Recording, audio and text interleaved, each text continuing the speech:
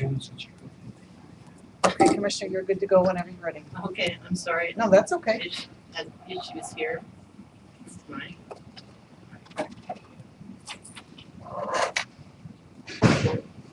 Go for the good old fashioned laptops, you know?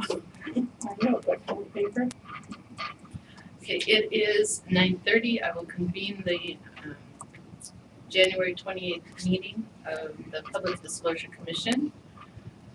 We have a quorum here. um, And uh, first item on the agenda is citizen comments. I don't see any in the, any citizens in the audience. Are there any comments for us? Hearing none, go on to commissioner comments, concerns. Any commissioner any comments and concerns besides the weather and the traffic? Hearing none, I'll move, go on to the minutes. We have two meetings to approve the minutes for. The first one is December third, regular meeting. Is there a motion to approve? Please,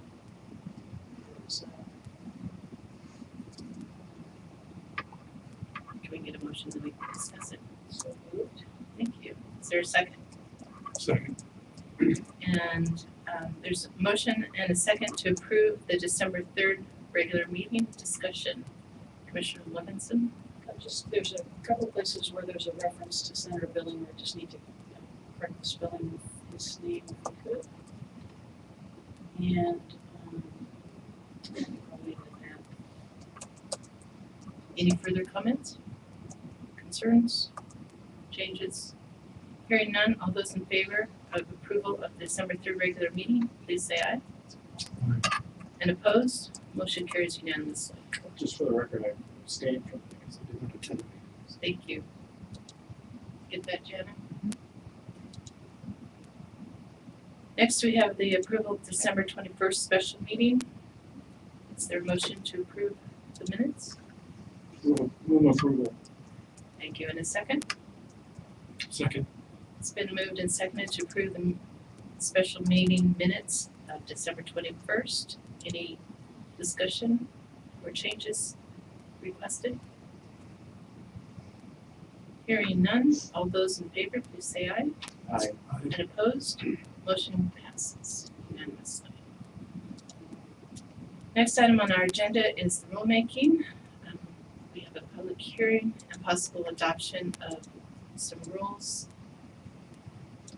I don't have my, do I need to open the public hearing first?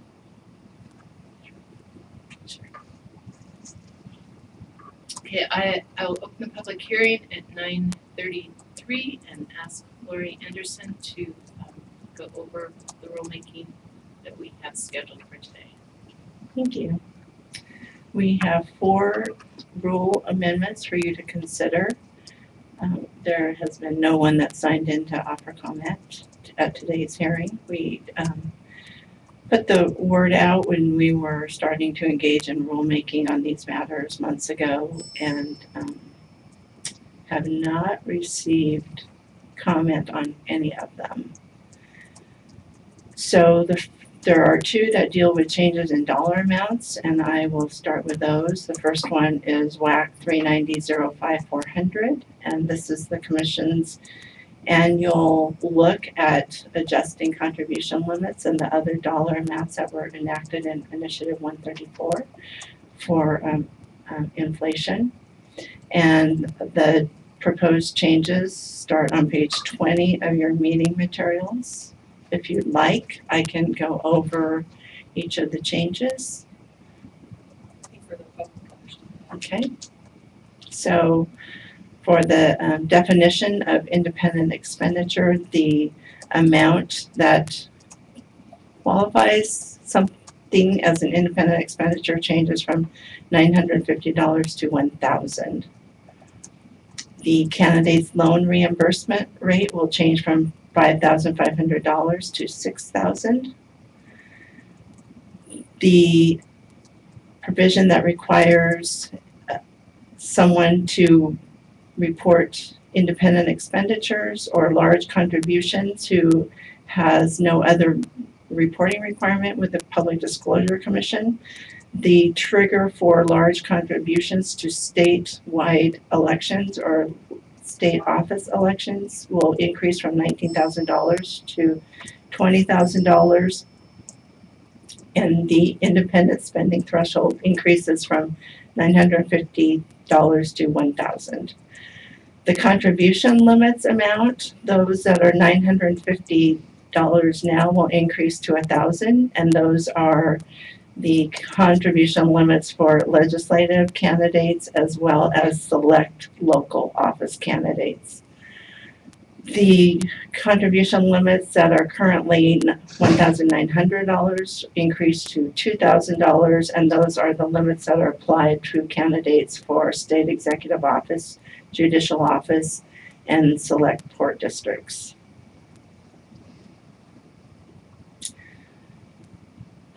The limits that dictate how much money a party can give to a candidate, a bona fide party can give to a candidate. The state and caucus committees limits will change from ninety-five cents per voter to one dollar per registered voter.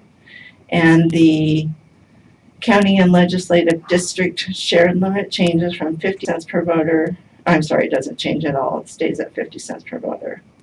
Wasn't it forty-five cents? No. Um, Thank you, you're right. It was at forty-five cents before. Thank you very much. Contribution limits for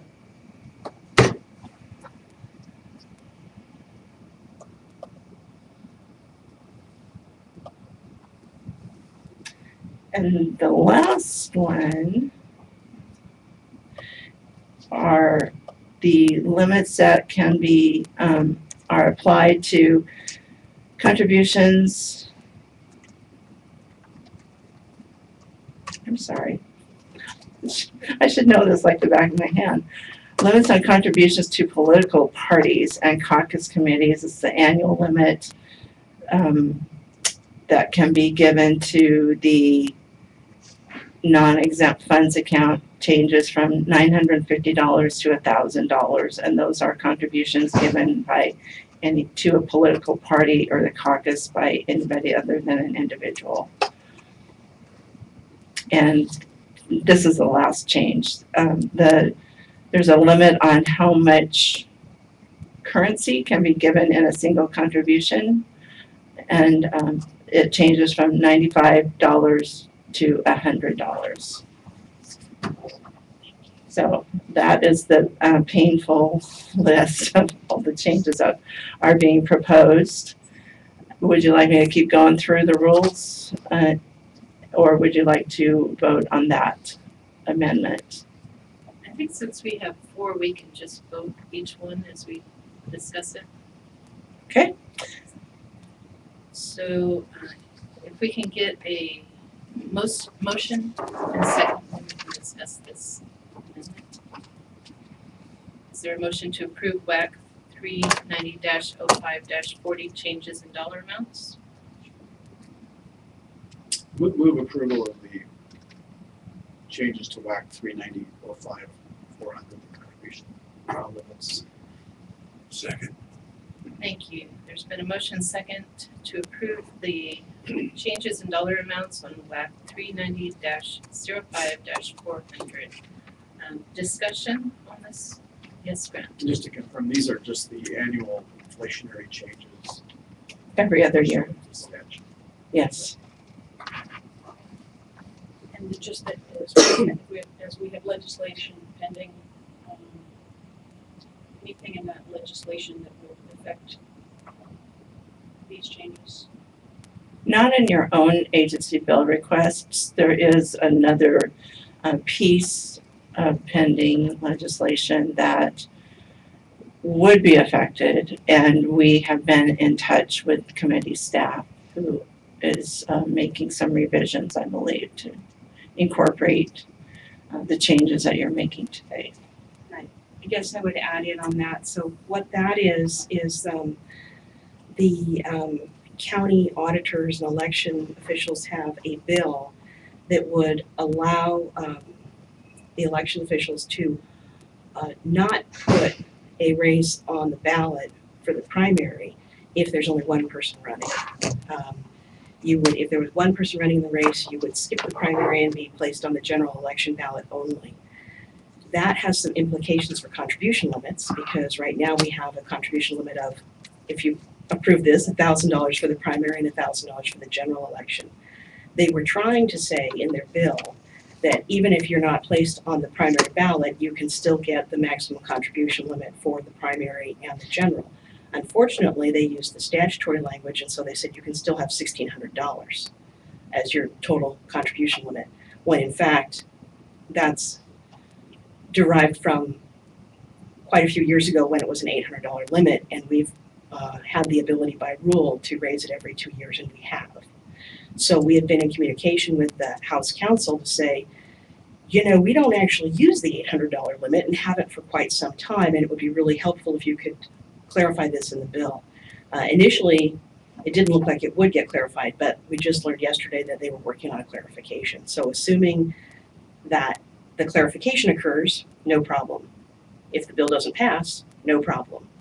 If the bill does pass unclarified, then you could have the situation where all candidates have the current, the contribution limits that we set by rule, except for those who don't have a primary election, and they have a sixteen hundred dollar contribution limit. It could happen, but we think it'll get cleaned up. This uh, relates also to the issue that we've put on the table about um, clarifying use of funds for primary and general election that came up in, I think it was the Tibbet matter in the fall. Uh, Dahlquist, I think. Dahlquist, okay. Yes. I don't, we haven't um taken any action on that, but it is something that is on the list of items that we need to do some work on internally.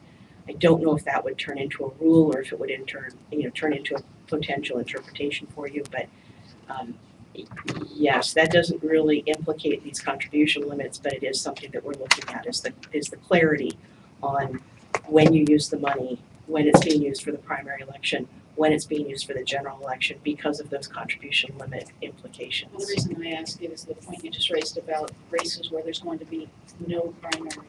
Sort of how are, how are we gonna categorize those and, and make sure that what we decide on, on these two matters that we're integrating our thinking. Yes, I would say if this passes and we have a change in whether a candidate has a primary election, then we will need to look at whether we need to change anything else because currently our contribution limits are tied to um, election, are tied to an, uh, an election. So, you know, I was looking for the right word, but a primary and a general.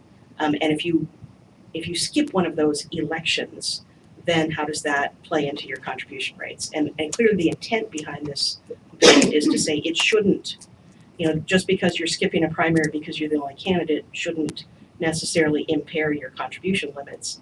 Um, but we'll have to look at that.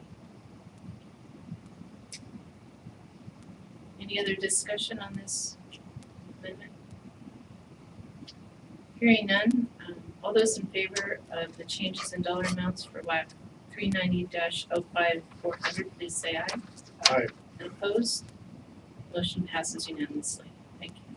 Thank you. The next rule for your consideration is WAC three ninety sixteen zero five zero, and that is the form for contributions and expenditures that an out-of-state political committee uses if they meet the criteria set out for out-of-state committee special reporting. When they do qualify and are able to use that out-of-state committee report, they disclose large contributions from, that they have received from anywhere, um, not just inside of Washington State, that, um, hit a certain threshold. The commission has a statutory requirement to do an annual adjustment for inflation for that threshold. And the proposal would change the threshold from the current two thousand six hundred and forty-five dollars to two thousand six hundred and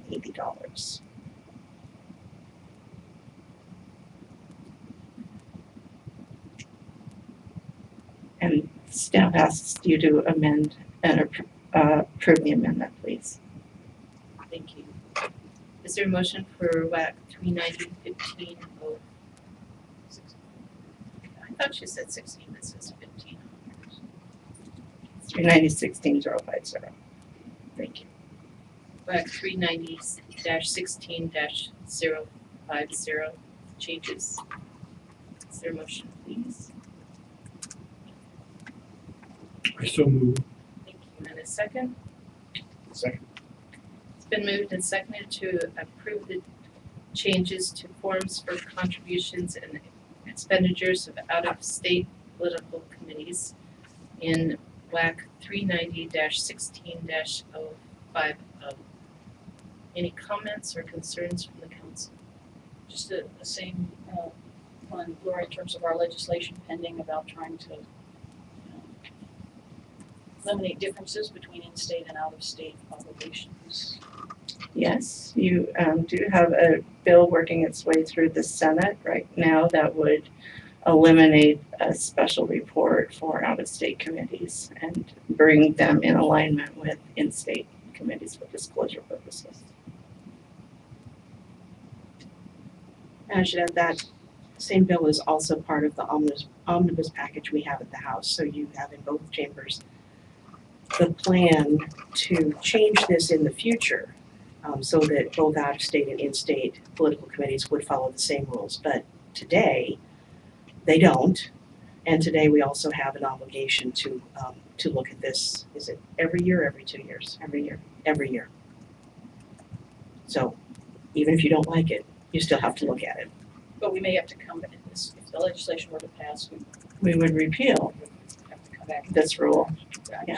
Just trying to- Yes, we would have a repealer at that, whenever, for whenever that statutory amendment takes effect. Anything else? Hearing none, all those in favor of the changes to WAC three ninety sixteen 50 please say aye. Aye. And opposed? Motion passes unanimously. Thank you. The next rule for your consideration is WAC three ninety twelve two hundred, Public Disclosure Commission, Executive Director. And this rule um started out before you for amendment when uh the alternatives for resolving complaints were first um before you. And we were inserting the authority for the uh, executive director to authorize one of those alternative responses to resolve a complaint.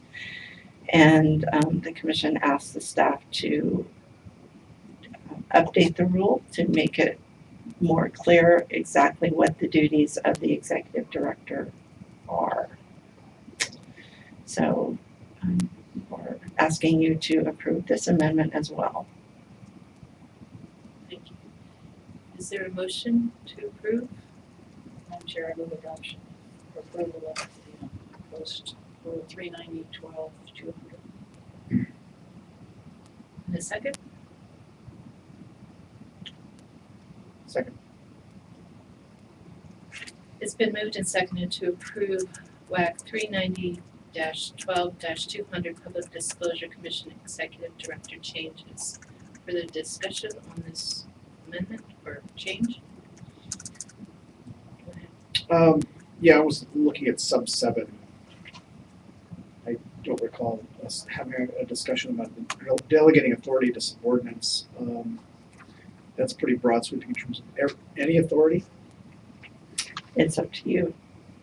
But yes, current, the proposal would give them any authority.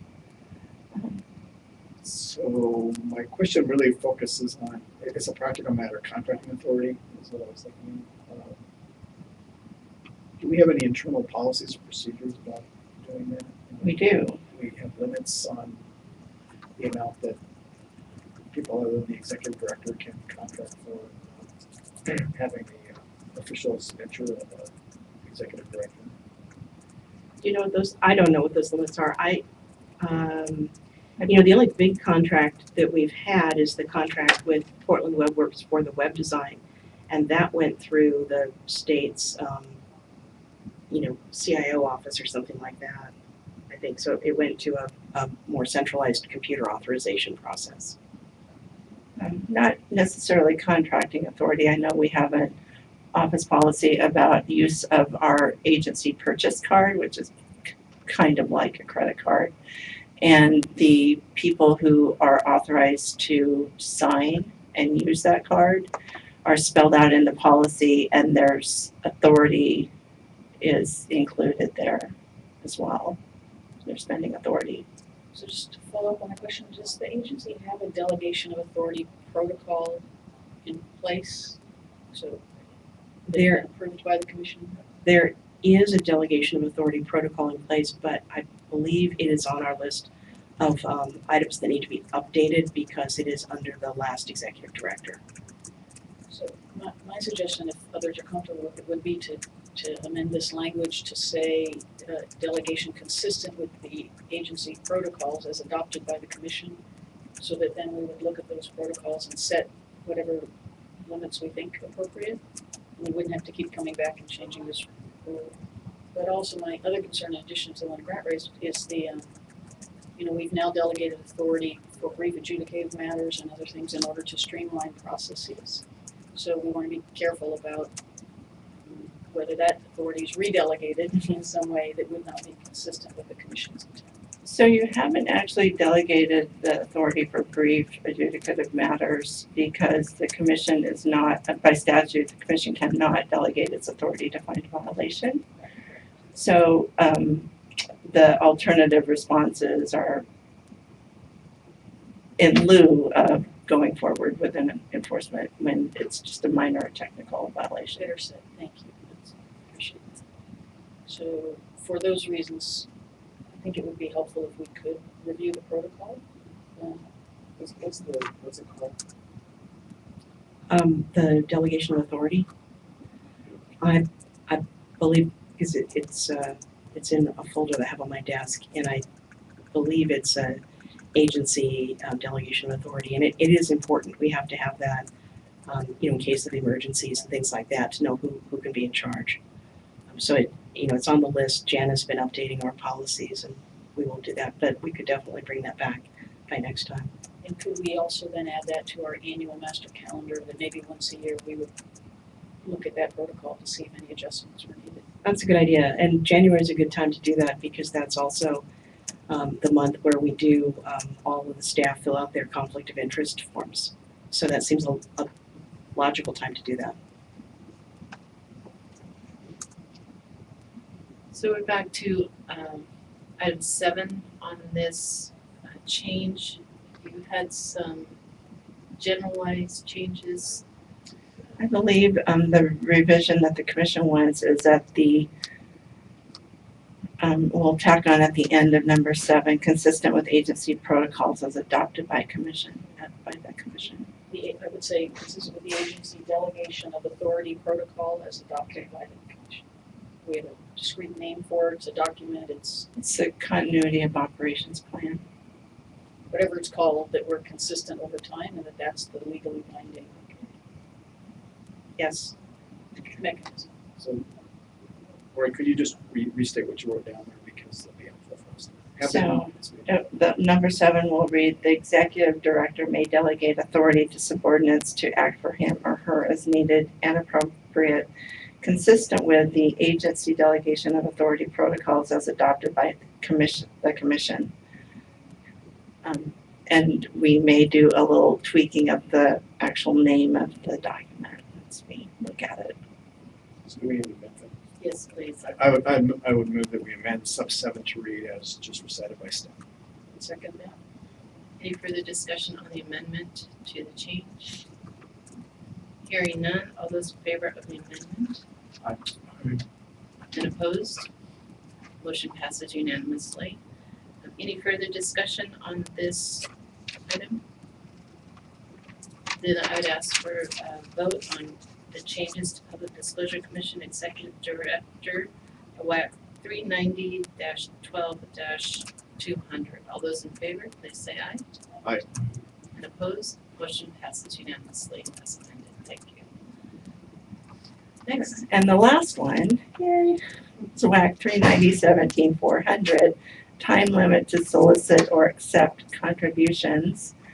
And this amendment rolls into the existing rule, the commission's interpretation about session freeze and the ability of candidate or um, elected officials who are subject to the session freeze to participate in fundraising um, events held by other candidates and using um, those officials who will be attending the events names in the fundraising advertisements as well as the state officials ability to participate in caucus events and the um, requirements that the caucuses will have to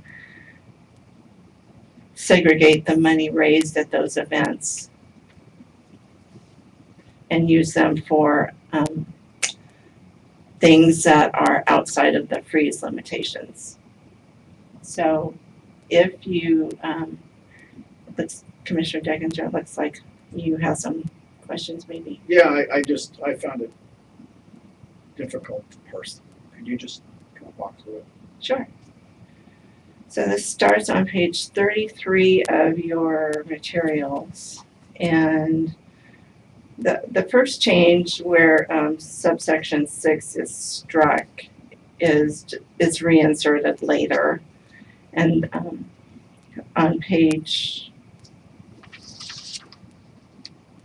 on the second page of the, the rule, I'm not sure exactly what page it is in your material, at the very top is the first section that's lifted pretty much verbatim from the interpretation inserted in this rule, which says that a state official who is subject to the freeze may attend a fundraiser for another candidate who is not subject to the freeze, provided that the state official does not solicit or accept any contributions in connection with the fundraiser. So number one, they can just go. So let's give an example of that. Suppose Patty Murray was having a fundraiser in Seattle and wanted Governor Jay Inslee to attend. He is unable to fundraise right now because of the session freeze. Uh, this would indicate that he could attend that as long as he wasn't doing any fundraising for his own campaign, am I right? Yes. And that he is not there actually getting up during the fundraiser and saying, please give contributions to Patty Murray. Okay, so he can Well- attend, but he can't Mhm. fundraise even for someone else? Correct. Okay, Smile and shake hands. Can smile and shake hands. eat lunch. Uh, and the second, um, part is that his attendance could be mentioned in the advertisements for that event. So sometimes they'll use names as draws to get other people to come to their fundraising events. So could he go and have pictures taken with him for twenty-five dollars a piece? What's the twenty-five dollars gonna be used for? Go to the campaign? No, Not if it goes to his campaign. Could he do Or it her for, or her campaign, any campaign? And if it campaign. went to some generic thing, could? Uh, they could be doing charitable work during the session freeze. I'm not sure that happens at fundraising events, but Could it, could the money go to a PAC? no.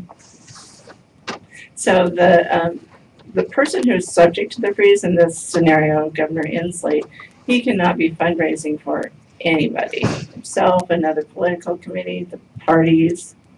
So Um, they cannot tie any money to him being there, basically. Correct. He can just show up to Yeah. maybe encourage other people to come. to be a draw.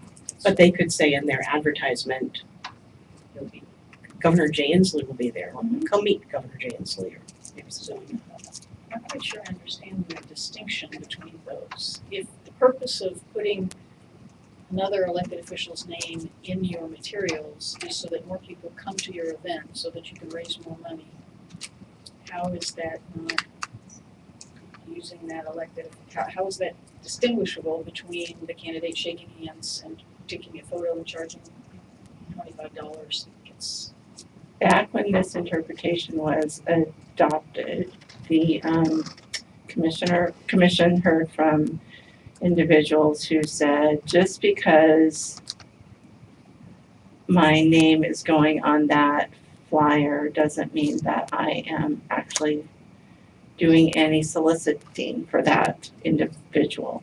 Um, And that's where, where we are today. Well, and if I could um, give a possible reason why this is a good idea. Uh, um, we don't want to, as the regulators, be forced into a position where we're looking all the time at trying to discern, trying to discern the intent behind something. So the difficulty with, with your question, which is a very good question, which is what is the difference between, um, you know, flagging that you have a high-level um, state candidate at your event, we'll presume you're doing that to get more people there. But maybe you're doing that because you just want to show that there's broad support across the state or, or interest in the topic you're discussing. And so the difficulty is if we said, you can't do that, if it's for the purpose of getting people there, we would, we could potentially be in the um, unfortunate position of getting into arguments over, why were you there? Were you there to get people there? No, no, no, we weren't, we didn't ask him to increase the number of attendants, we just, you know, thought it was a courtesy to have the governor there, or, you know, we were gonna discuss some environmental issues and wanted to have him there, or he, we wanted to give him the opportunity to make a speech on something that was important to him. And then it, that's very difficult to regulate. So, um, this would be a little bit more simple, But these are all in the context of fundraisers, right? yes. Now, some fundraisers have a mixed purpose. I know if you, if you've ever been to the, which I will not be going to in the future, um, you know, the Patty Murray Golden Tennis Shoe Award Yeah, thing. Because we can't go this. Exactly, but maybe in your past life, you've seen things like that. Um, you've heard of such things, we understand they occur. Um, you know, it, it's pretty much a fundraiser, but then they also are, are honoring people from local communities things like that. And I also think back in the day when the interpretation was adopted, that um, the commission was maybe thinking, so this activity is all done by a candidate who is not subject to the freeze. And the, the dignitary who is going and subject to the freeze doesn't necessarily know that their name is being used, so we don't, they didn't want to get into the gotcha situation. it's sort of like the photocopy issue we were looking at earlier. Well, and the photocopy is one of our pieces of request legislation where if you're a candidate and somebody goes to your website, snips your picture and uses it for some fundraising, you're not going to be charged with an in-kind uh, contribution unless you coordinated or cooperated with that. The, the gotcha piece is very significant. Uh, The reason I wanted to call this out of it was, anybody just reading this, I know we try to be precise, doesn't understand what we're trying to accomplish. And I think it's important, uh, we've, we've, we've talked about the unintended consequences of certain regulations, whether it's on the amount of time we spent discussing how to exempt uh, very broad limitations to event, uh, events uh, where food is served, and now that's become um, legendary. And So if we can make it clear, the idea is not, you know, is that the, the purpose of the statute is to make it clear that if you're not fundraising, you can attend, but, but you can't fundraise. That's what we're saying. Yes. And then the third piece is that complimentary admission can be given by the candidate who is doing the fundraiser to the state official that they're trying to get to go to their fundraiser. Then, um, the, the other changes that appear later are, um, just where we moved the earlier section about caucus committee fundraising that was struck from the first um, page of the rule amendment. We just moved it to try to, this is a very long, um, the commission has one rule about session freeze. And it's very long and a little unwieldy. And so we we're, by moving this particular section about the caucus fundraising, we're just trying to make it flow a little bit better. It's not really, it's not the change so much as a revision to the um structure. Yeah, and one thing we could do um, for the future, and I don't want to um, dissuade you from approving this because I think we need this in place for all of the exciting activities coming up in 2016. But, you know, we could look at breaking this down in the future. And we could look at uh, providing some examples in the rule. You know, some rules will have examples. So if you, and again, I'm saying, I'm not trying to derail this because I think this is a good process for right now and will get us where we need to be. But if you would like us to look at, you know, breaking it down and giving some examples, we can work on that. Um, we- we'll be doing another look at rules, um, in June.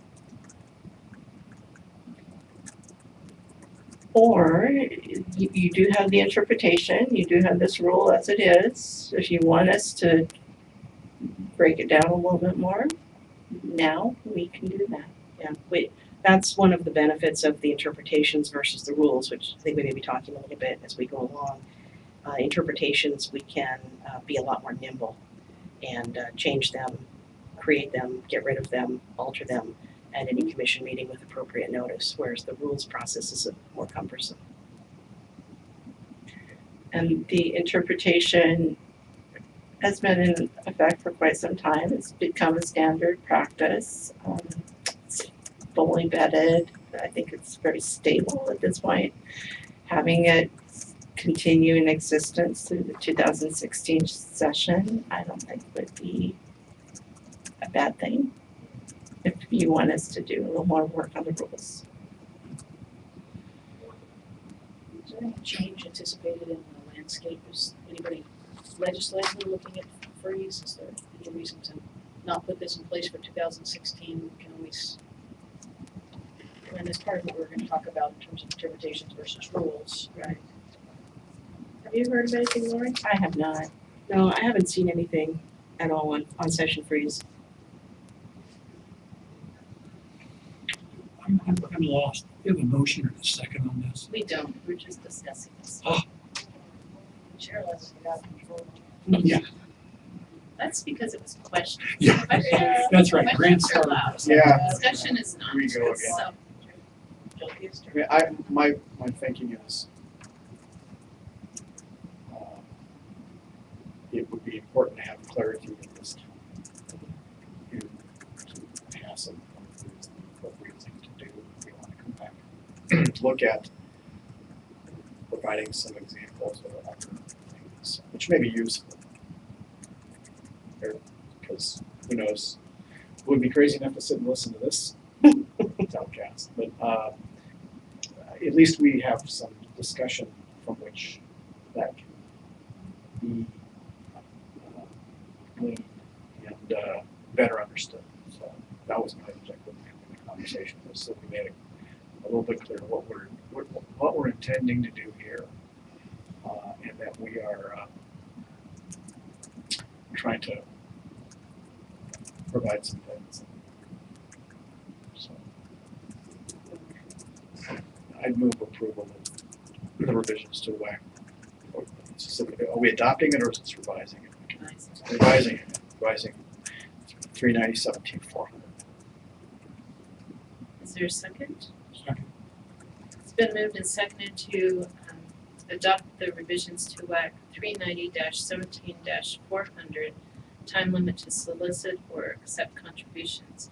Any further discussion or concerns on this? Hearing none, all those in favor? Aye. And opposed? Motion passes unanimously.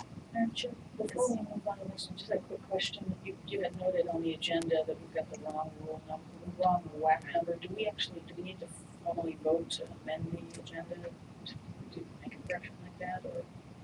what's the- I think that to be, I'm not sure if it's required, but to be absolutely on the safe side, since you've asked, I think uh, a motion to amend the agenda to change that rule number would be appropriate. Excuse me, which one is wrong?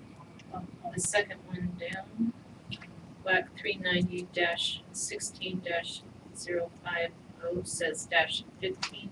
Uh, Just on the agenda, Oh, on the agenda. on the actual public.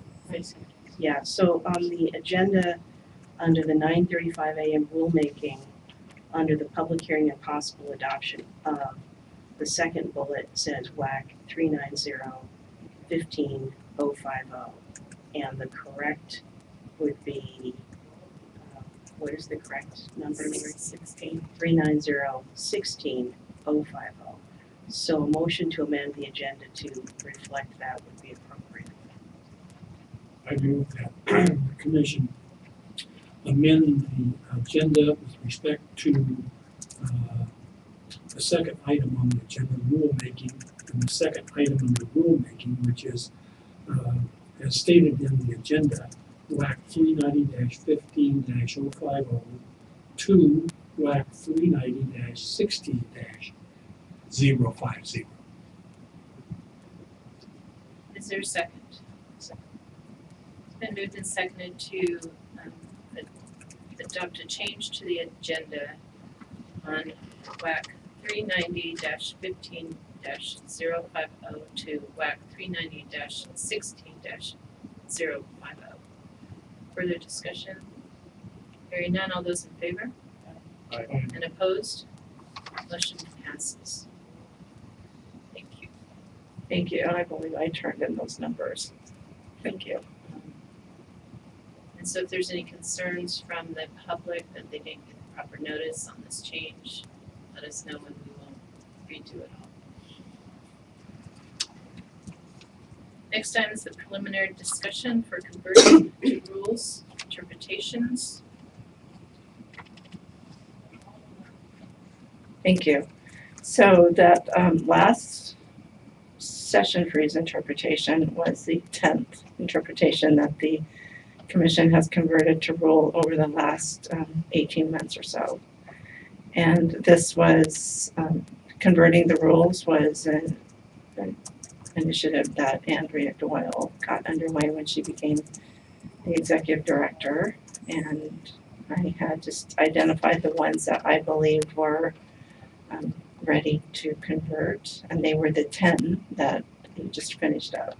There was another package of six more that related to public facilities and their election activities. That a lot of uh, stakeholder work had gone into developing those guidelines um, and all of the six interpretations. And I thought that they may be ready to convert, they may be stable at this point, um, but I did not want to go forward with that without going back to all the stakeholders that had participated when the interpretations were drafted. So, um, we did that in December. We approached many, many, many groups, somewhere between twenty-five and thirty, and asked for their comments. We didn't get many comments. Those that came in were all in favor of leaving the interpretations as they are. Those comments have been provided to you, and so at that, this time, the staff is, has, um, re- is recommending to you that those interpretation, those six interpretations not be converted. Questions or concerns? This is more of an update and you can tell us your preference. The question, so the folks that raised the issues about the value, value of interpretations, staying as interpretations, Mhm. were, uh, seemed to me to be directed toward the school district interpretation. I didn't see comments related to the judicial robes or the buttons, but the Seattle Ethics and Elections made a comment about the buttons, but not in terms of interpretation versus rule. Right. Um, or the, and they also made a comment regarding libraries, but not interpretation versus rule. So, So we have um two different sets of guidelines. We started with one that was for to cover all local governments. And at the time that was adopted, the school districts came back after a little bit of time and said, you know, we have um other powers about or surrounding elections and urging people to vote and registering people to vote. that not all local agencies have, and so we think we need our own guidelines. So that, um, we went forward with that proposal and we wound up with two sets of guidelines. And then the other, um, four interpretations involving libraries and buttons and judges' robes and the definition of what's an open press conference. Um, I think they could actually all be rolled into those guidelines so that there's one stop shopping, if you will, for the local agencies and then the school districts. So you, sorry, you see these all as part and parcel of the same subject area? I do. And then we were talking, when we talked about this a few months ago, we were talking about the pros and cons of rules versus interpretations. And one of the objectives for me in looking at whether more should be converted to rule was uh, making it easier for folks who want to comply. And that when we have uh, laws and rules and interpretations, it's a, can be cumbersome or challenging to know where to look and what, on what to rely. And some of the feedback we'd gotten from folks was that um, because on the website, you can't search by subject matter or by question and say, I have a question about judicial robes, or I have, that you'd have to know whether something was in WAC or interpretation. So part of the objective was to um, simplify it for the regulated community. And if we leave these as interpretations, do you have some thoughts about how we might accomplish that goal? I do. In designing our new website that we're gonna talk about a little bit later today, we are elevating the presence of interpretation so that they're not buried under a couple different layers. And there will be the ability to do a comprehensive search on the new website that is not there today. Where you can type in judge's robe and get, and you would get a response pointing you to the interpretation. So you wouldn't have to know, for example, that something is, and what interpretation even is, it's not a commonly used word to mean what we're talking about. You would not. Would say in terms of sort of administrative procedure, it is not uncommon for um, regulatory and quasi judicial agencies to have some um, interpretations or significant decisions and uh, in addition to rules. And that's because um, there are areas that either don't fit very cleanly into a rule or that um, the administrative agency wants to give a bit of a more nuanced explanation for this is how we look at this sort of thing, or when we see this sort of problems, the priorities that we are concerned with are A, B, and C. Um, so those kind of qualitative decisions uh, and discussions fit better into um, either administrative guidelines or in our case, uh, commission interpretations rather than rules, which really need to be much more do this, do not do that, um, to be clear.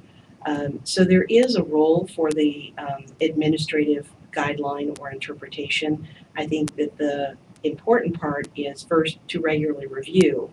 You know, is it still a good interpretation? Does it still reflect what we think? Second, is it has it become so routine that it really should move into rule, as you've discussed? And um, you know, and finally, you know, do people know what this is and can they find it? And it's an interesting, it's been a very interesting task in looking at the website and trying to think about what the website's purpose is.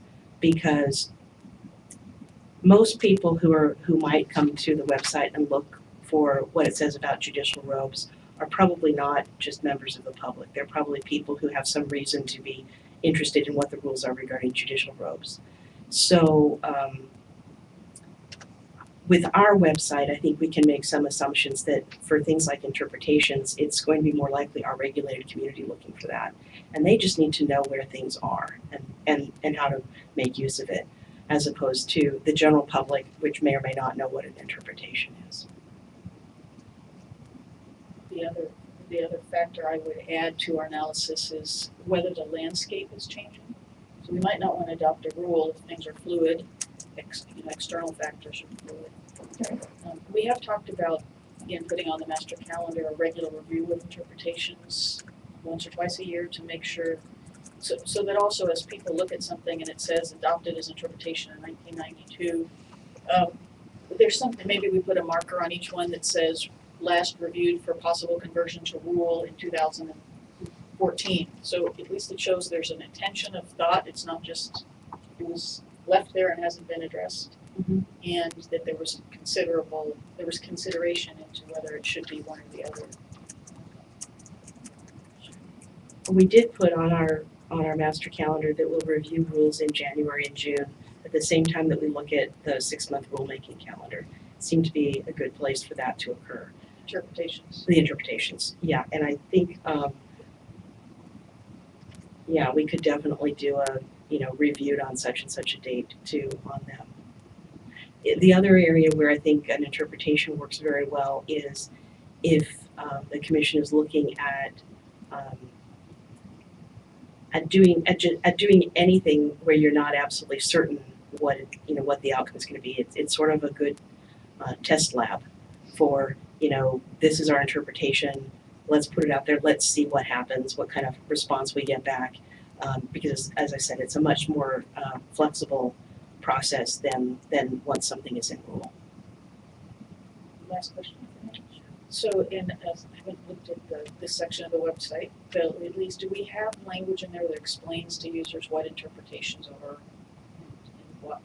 So can you say, if you're looking, you know, when you say, take me to judicial robes or something, it takes you to interpretations, it's something there that says PDC interpretations are thus and such, right, and that, you know, as distinguished from rules or laws, so again, just to try We to have people looking at that webpage, I believe, right now. just to make it, I uh, don't remember off the top of my head. it's part of our philosophy of trying to get rid of all the lingo and challenges to, you know, just make things as user-friendly as possible. Mhm. So If we don't, I would just suggest that we. We can do that if it's not there. That's, we do that today. So, Ms. Anderson, the summary of your, your comments are that we don't change these interpretations into rules, at least right now. Right? Correct. And that you will try to combine as many of these interpretations as you can into one interpretation. Some probably are standalone, and maybe not. Well, they all deal with the same subject, which is public agencies and their election activities. So for that reason, and considering that the guidelines that are currently in place are kind of a chart or- roadmap that address different groups and their activities and activities um, separate from, as separate sections and um, like buildings have their own section. So the way they're laid out, I think we can put as much in there as we want, keeping in mind that it's all laid out by categories. And I just think if I was coming to an agency and wanted to know um, something about a particular subject, I would rather have it all laid out in front of me rather than in five or six different pieces. And I think, I think related to that is, as you're refining the search capability and the clarity on the website, you want to make sure that people can get there either way, so if you put in public facilities use, it would take you there, if you put in judicial robes, it would Yes. take you.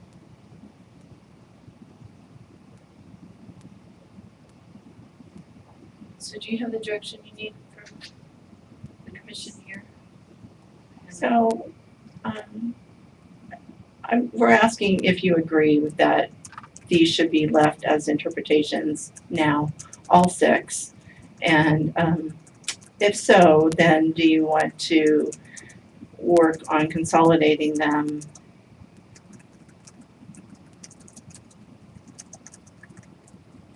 Um, gotcha, sure. So the ethics, Seattle Ethics and Elections comments actually encouraged us to look at the substance, I believe, of the political buttons interpretation and the library interpretation. Express some, not concern about whether it's interpretation or rule, but actually what the interpretation was. They disagree. The right, they disagree. So, um, a, a question that um, poses for us is whether we actually want to have substantive review of those interpretations, or whether you feel like you've had sufficient input, or, I don't know the history of the, the stakeholder involvement in those interpretations, and whether, based on the Ethics and Elections Commission input, we need to put it out for comment again, so maybe you could help us understand that. Becky? Well, those are very, the library interpretation is very old, and I'm not sure what sort of stakeholder work went into creating it. I do know that the libraries are very appreciative of it, and uh, I get at least one comment every year from a library who calls and asks about whether or not they can allow campaigns to come in and post information and I point them to the interpretation, and they are very appreciative that that for the guidance that's there. They also, most um, library staff, I believe, think that they have a, a duty to inform the public and just be um, kind of an information hub. And so, um, if there are local made ballot measures, that I think they they see themselves as a natural place where people would want to come and find information about anything, including um, ballot measures or perhaps other campaigns. Um, as far as the buttons, I think that was um, adopted because of case law about freedom of expression um, agencies, as far as the buttons, agencies can adopt their own policies that are much stricter and enforce them. They don't have to follow the commission's interpretation. I know some, like the uh, city of Vancouver, for example, does not allow people to, employees to wear buttons or camp, campaign-related clothing.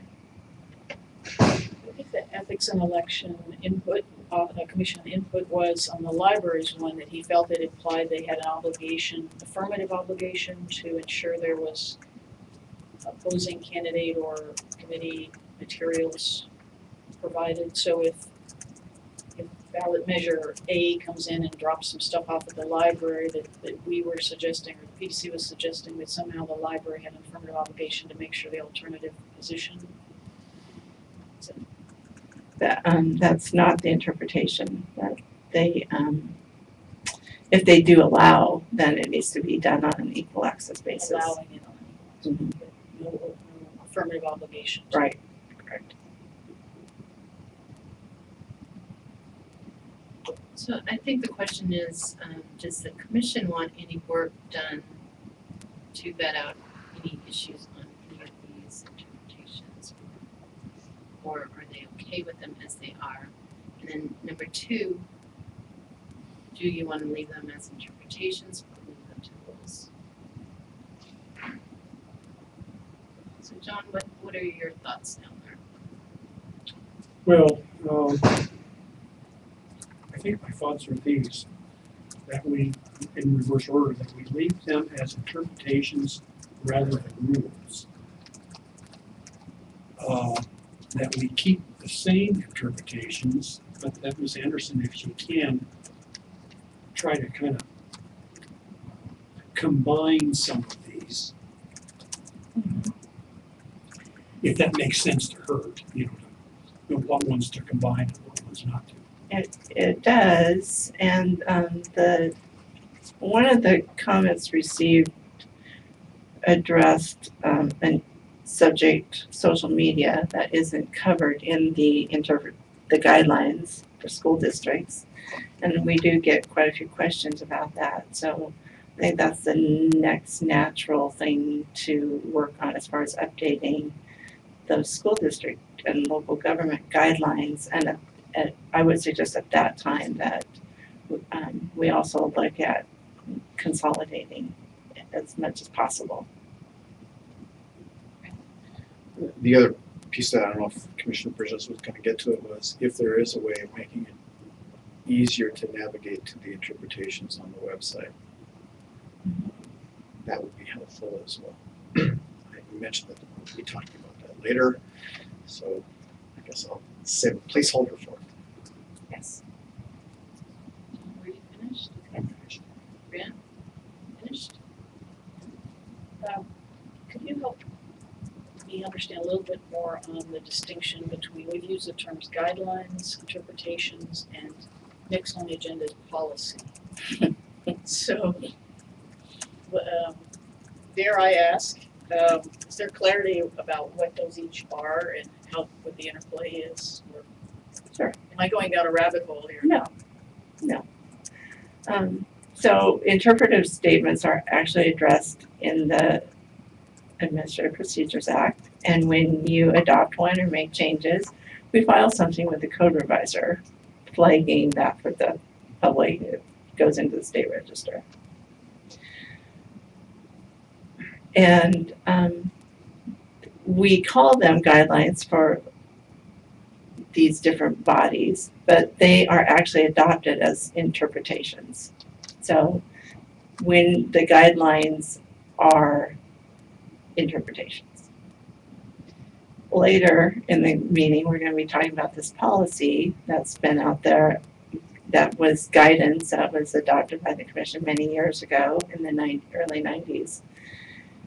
Why it was adopted as a policy, none of the current staff know it should have been an interpretation. It feels like an interpretation. Um, they, the commission had been ma- adopting interpretations at that point when they adopted that policy, but I'm not sure why they pigeonholed it in this other category. It's all guidance or that how the commission would interpret a particular statute and the company rules. But it's not filed with the code revisor? I don't believe it was. Is that the only one of those we have? Yes, one of the stray children. So if we do this uh, language to clarify for the public or users, regular community, what uh, uh, interpretations are, perhaps in that description, we can say sometimes referred to as guidelines and make it so that when they're searching, if they put in guidelines or interpretations, Mhm. since, since we've kind of used them interchangeably. And I think the reason, so all interpretations get a name, number one, and the name for those two just include the word guidelines. And I think the reason why was just because of how they're structured into the different categories of activities and by um, individuals and that it was kind of a map to the different guidelines for those activities and individuals. And am I right in following up on that? If we were to develop a new interpretation on use of social media and use that as an opportunity to also try to pull all of our various pieces of use of facilities into one uh, larger interpretation that has very clear subsections for each area. Would you also like us to look at this singular policy and uh, propose, uh, review that, and propose turning it into an interpretation also, either part of this interpretation or a separate interpretation, so that we don't have this third outline category of, of policies with just one item in it. I thought that's where this was heading, so. But Yeah. not right. And that is the next agenda item. So the commission is pretty much in consensus over, taken a look at combining the interpretations that you feel are necessary when you look at the social um, media and then not turning anything into a rule at this time. Correct? Any dis- So why don't we move on to uh, limits to to affiliate commissions?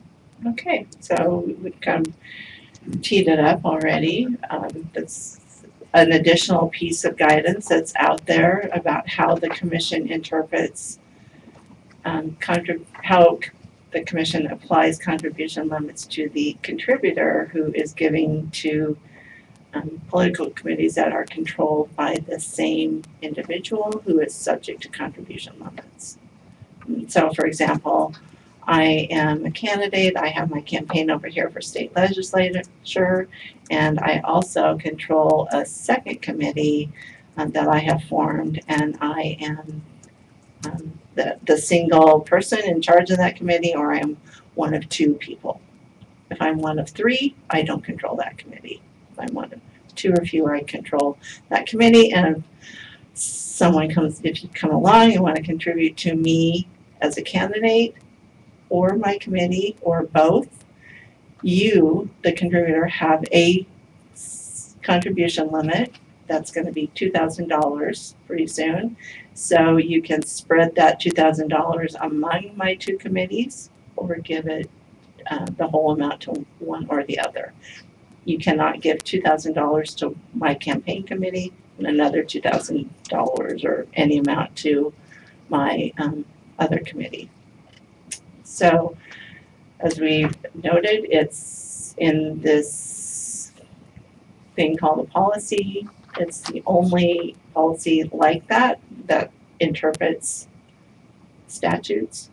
Um, and it also needs, if the commission wants to continue having that as their, I'm gonna say interpretation for lack of a better word, or policy, it needs to be updated, cause it only addresses, um, certain candidates who have contribution limits and limits have been expanded over the years. It does not incorporate the um, decision about ballot measure committees not having limits. So um, our question was, do you think it's still good policy, number one? And number two, uh, if you do, then it needs to be updated, and would you rather it be an interpretation or a rule? And I can tell you, this is probably the third time we have brought this to the commission. The first time was right after the um, public disclosure law got recodified. And we were looking through everything in the office that needed to be revised. And at the time, the general counsel said, let's turn that policy into an interpretation. We drafted it, we brought it to the commission. They suggested changes. And by the time um, the next meeting rolled around, there was litigation that um, caused the general counsel to put the brakes on that um, interpretation drafting. So then um, we tried again a few years ago, and there was a, a case that kind of put the brakes on it again at that time. So now I think it's the road is open, we can move forward, and the question is, how do you want to move forward? Suggestions? Do you have a recommendation, Well, you've been trying to get um, lessen the amount of interpretations you have. And so for that reason, because as I said, we started drafting an interpretation quite a number of years ago. And I thought about just bringing that to you, and then I thought, why create another interpretation that some down, time down the road you might want to convert, and it makes more sense to me just to go forward with rulemaking. Concur with that, I'd like to put it on our two thousand sixteen rulemaking. So would that cause us to need to repeal this policy and make it a rule, or by making it a rule, it just negates this policy? the policy just goes away. Does anyone have It's also a much more public process and you can um make sure that we get everyone involved that wants to be involved. And for me, that's a substantive reason. I think there's a lot to be discussed in here. I think rulemaking will get more attention by stakeholders. Yeah, I, I agree with that, because there's some of the language in here is bona fide political committee as opposed to a non-bona fide. I mean, there's just descriptions here that, that are, um, difficult to understand in a functional way. And then I guess the other part of it is if we have provisions in here that have become suspect due to recent court decisions, then we probably need to fix that. It sounds like we do. So we've got a policy that's not compliant. And probably not a good policy to have a policy that's not compliant. So Probably need to do something. I could add to that, I think also the discussion about whether we should have other indicia of control is a little bit um, narrow to suggest that if it's just one person or two. So if you have the same treasurer, the same PO box, the same this, the same, is that a direction we wanna go in to say that's that's a vehicle for dark money or for some other lack of compliance, and I, and I don't, I had sufficient time to think it through, but just in reading this for this meeting, perhaps we need to broaden that. You know, and I would add in on that, one of the difficulties with our rules, I think, where we're regulating contribution limits is that, you know, you just set a new challenge for someone to figure out a way around it. And so yes, if you say, you know, you can, you, if you're one of three people, you're not considered to be controlling, you know, we all know that individuals may be the controlling personality or the controlling interest in a three or four person group. At the same time, you, you've got to come up with something that's clear enough to regulate. So, you know, it, it- it certainly would be nice if the rulemaking process helps us to vet that out and think about it. But, you know, I guess I would add in, it's kind of an, an odd comment, but always consider whether something is unregulatable too. You know, if it's unregulatable, then we probably shouldn't be putting a rule out there so that only the, um, only the compliant people are paying attention to and the non-compliant people are ignoring. Is that fair? Yeah, but we could all, you know, vet that through the rulemaking process. So even, th- uh, good, I agree with that, but I think even thinking through that control issue, right, is if there are four of you, but they're all family members, or they all work for the same, you're the employer, I mean, they're just different? Just, just a numerical evaluation isn't really gonna get us to the issue. There's been enough development in the case law since this was adopted that I think uh, through the rulemaking process, we can probably craft something that will make sense. There's always hope, right? Uh, do we ever ask whether we need to craft a new rule in place of the policy? As opposed to being silent. Yes, just get rid of the policy. That should be part of the discussion in the rulemaking, that the parties should come in and say, you don't need a rule, and this isn't, you're trying to regulate something that doesn't actually even need to be regulated. Um, And, um, so that, that should always be a consideration. Um, In the meantime, does the policy remain in effect? Have we been even applying it, Lori? Yes. And it's mostly in the case of um, candidates who are subject to limits. There's a few county council members and a few legislators who have formed political committees. And they form those committees so that they can make contributions primarily to other candidates. Um, and so we keep them apprised of the policy um, so that they are not. Another piece of that is, as a candidate, you can only have one authorized committee for your own campaign.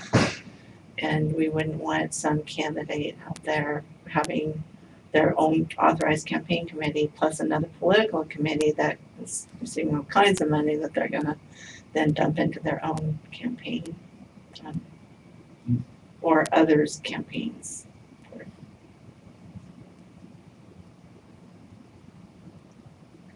Anything else?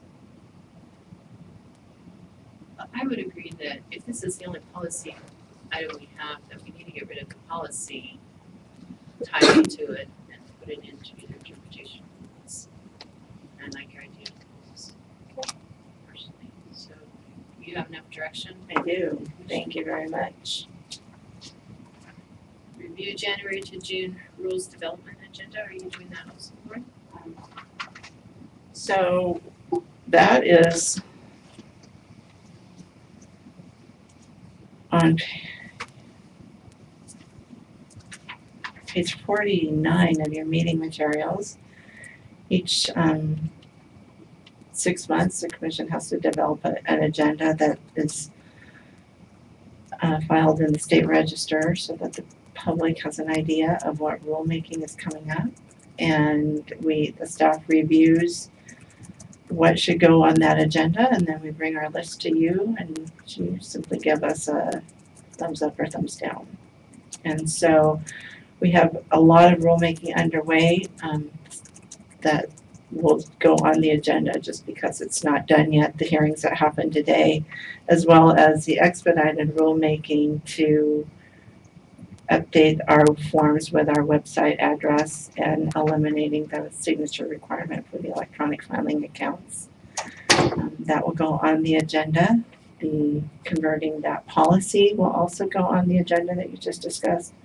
And um, a placeholder for two thousand sixteen legislation. Any new legislation that comes out that needs clarification, we'll um, do that during the six-month period, hopefully.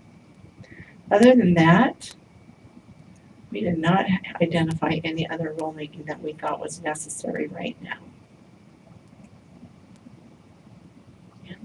I would just like to suggest that we uh, hold off until we finish our retreat today, strategic planning work, Oh, sure. and then if anything we'll find timely to move forward, we can Okay. keep. So does this need to be approved today? Or is this something that we need to vote on, or is this something that you No, just? you don't need to vote on it, just keep, we're keeping you informed, making sure that you agree with the staff, and what I've heard is um, that this looks good for now and, and to add anything that comes out of the retreat today. Anything else? If not, we'll move to staff reports, starting with executive director. Okay, and I will start with mine and try to be pretty prompt because I think you're gonna wanna spend more time looking at IT since we've got a, a mock-up of the website to walk you through. Um, this has been a busy month. This is my first legislative session where I actually engage with legislators. It has been very interesting. I've testified, uh, on Representative Moeller's bill regarding uh, electronic filing of lobbyist reports in the House, um, on Senator Billig's introduction of our request legislation for, uh, making out-of-state committees follow the same rules as in-state committees in the Senate. Um, and so the House, uh, these matters are before the, um, House State Government Committee, which is chaired by Representative Sam Hunt. In the Senate, our matters go to the Government Operations and Security Committee, chaired by Senator Pam Roach. Um, and uh, uh, also very nice um, turn of events. Um, Representative Sam Hunt agreed to sponsor all of our um, request legislation in the House, and then he rolled it all into an omnibus bill. So we have uh, omnibus omnibus bill 2697, and that has been heard in the um, State Government Committee and is moved into the Rules Committee. Everything well, the Senate matter doesn't seem to have moved, uh, but that may be okay. But the House items have moved into rules. Uh, we also made a presentation last Friday at the uh, General Government and Information Technology Committee. They wanted to have a commission day, so they invited a number of small commissions to come and talk about um, what we do, um, what our budget issues are, what our challenges are, and that was very well received. Um, I've been continuing to meet with individual lawmakers. I've met with um, Senator Habib, um, met with Senator McCoy last night, and Representative Hawkins. I have a meeting with um, the new Representative uh, Noel Frame next week. And um, we received a request for me to come meet with uh, Senator Ranker uh, tomorrow. So it- now it's at eight forty-five tomorrow meeting. That will be interesting. He is on the Senate Ways and Means Committee and uh, has questions um, about our budget and about advertising. I suspect that this may be further um, discussion of the monies that we used last year for some get out the vote advertising. We partnered with King County to um, have a couple of public service announcements run um, prior to elections that um, featuring people like Rick Steves and um, Clint Dempsey from the Sounders, uh, urging people to find out information about campaigns and candidates by going to the PDC website and becoming an informed voter. Um, a constituent contacted uh, Senator Andy Hill about that, and he contacted us with some concerns that we had spent that money on uh, advertising, and I think that those questions are continuing, so we'll handle those tomorrow morning.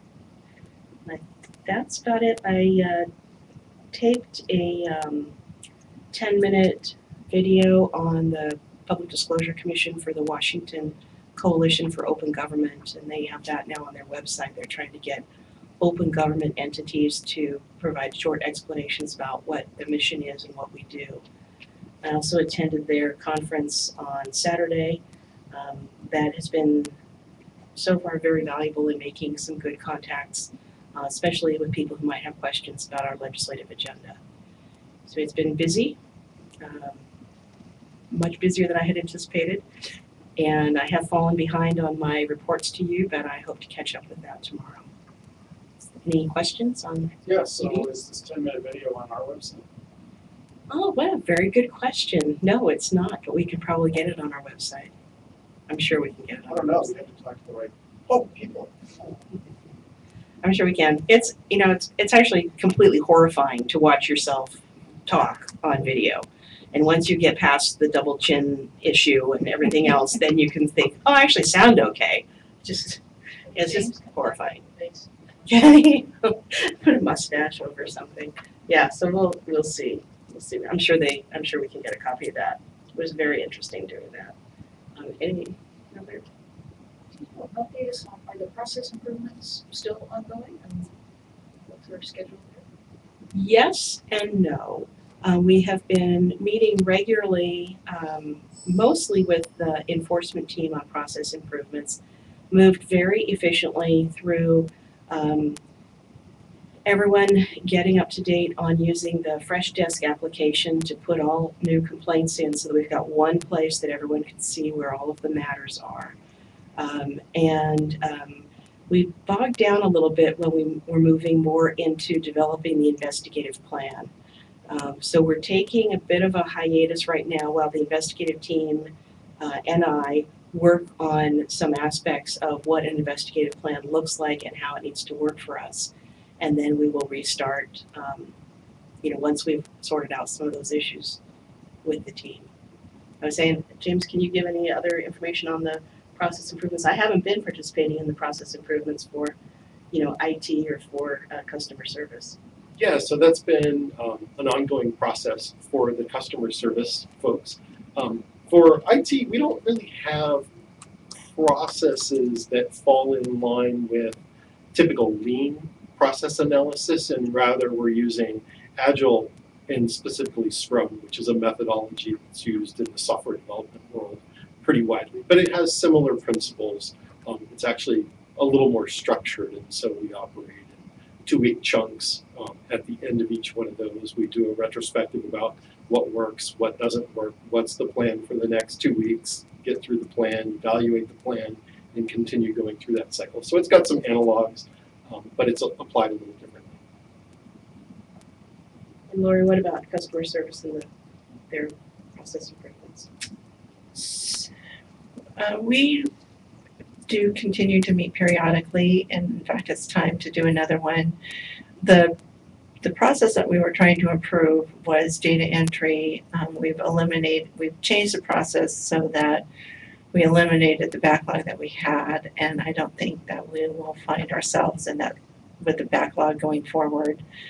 Um, we've been able to work with IT folks to come up with lots of automated checking that goes on uh, through those process improvements. We've eliminated some of the steps that were um, happening as documents came in the door and they were ready for data entry.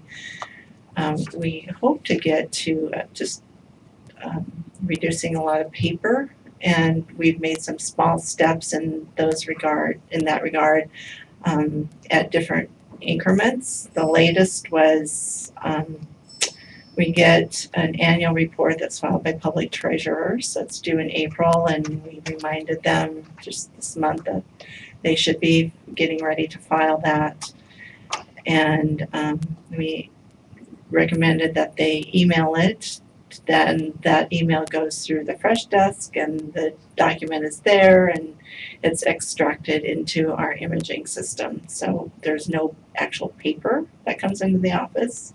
Uh, gets um, has to be scanned and imaged. So that was the latest, and now we're getting ready next month to receive um, lobbyist employer reports. So we'll be getting together again and talking, about getting ready for that, and seeing if there's any steps that we can eliminate and relate to, to those reports. So it, it's ongoing. The, the other one that I'll add in, in there is that we're doing a pilot with basically scan and box. So we used to have a pretty lengthy process about moving papers around as they went from receive to scan to data entry to review. Um, so we're doing a pilot with just a couple form types where they go through the scanner and they go in a box and nobody touches the paper again and data entry is happening off screen. So they're actually using the essentially electronic queue that shows all the documents that have been scanned but not entered and going through and doing the data entry directly off screen. So that removed a lot of the making piles, shuffling piles, rotating piles. You know, I forgot, one of the things that I was supposed to mention in my report was that we do in January also send out requests to the House, uh, the Senate, and, um, and Lori will tell me what else, but asking for a list of their staffers so that we have a complete list of those who are required to file F ones, and we have been doing that.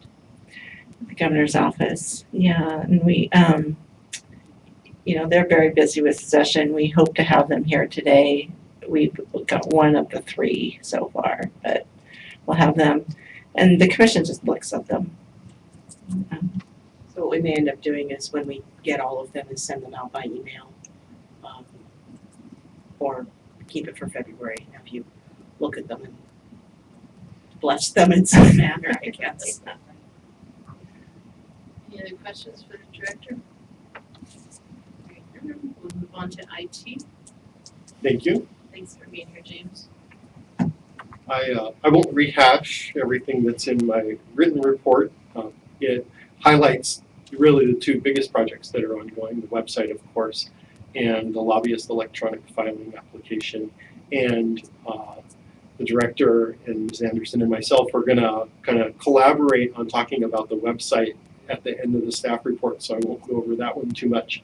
Um, but we're making great progress on the lobbyist electronic filing application, and it's been wonderful to have the high level of collaboration that we're getting from our customers. And so when they come here every two weeks um, and give us feedback about how to approach problems, um, and they're really helping us see the application in a very new light so that we're not just re-implementing existing practices, but really questioning how we're doing things. Um, and then really understanding what are the key features for them as well, because the things that come to mind for us aren't what they're necessarily most interested in, especially the things like just being able to import data that they already have rather than having to key that stuff in and being able to roll forward information from prior reports and pick which information. So I want my compensation to carry forward, but not necessarily all my expenditures.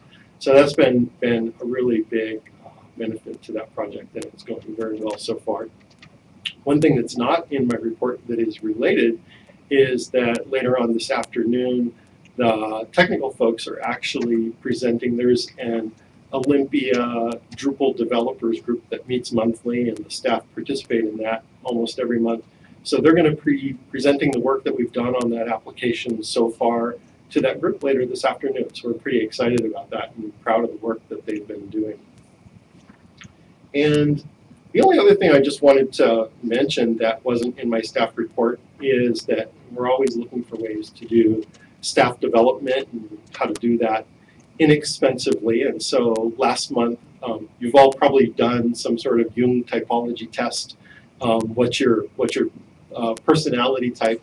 Um, and so we had all the staff do an online Jung typology test, and then compiled those results and got together for a couple hours and talked about the attributes of those personality types, really from the perspective of how does understanding how different people perceive and process information different from yourself, how does understanding that about them help you become a better communicator so that you can flex your communication style toward their way of thinking? And, and I think that was a big success, and we got lots of positive comments from staff, and I think you get a lot of it.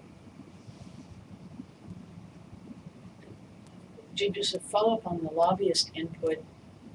It's great to make sure that we are using that across the board for other regulated communities. So no doubt everyone would like the ability to be able to just import data they've already put in and not have to rekey it or be able to update and all that. So as we, you know, as you move from stakeholder group stakeholder, I hope we're carrying lessons learned to Yeah, yes, ab- absolutely. And one of the other things we're doing as we build this application is we're using it as a model for future work. And so we are building it in a modular way that once we figure out how to do an import, then we'll carry that forward into the next version.